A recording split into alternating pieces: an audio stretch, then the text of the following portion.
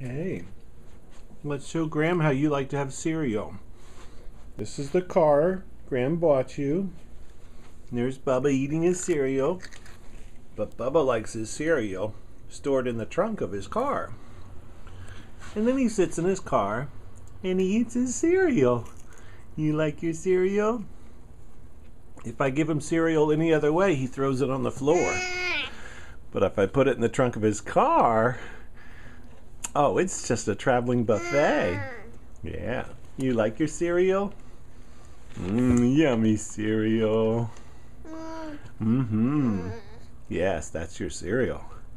Um, say thank you, Grandma, for my cereal car. Yes. Well, bye-bye.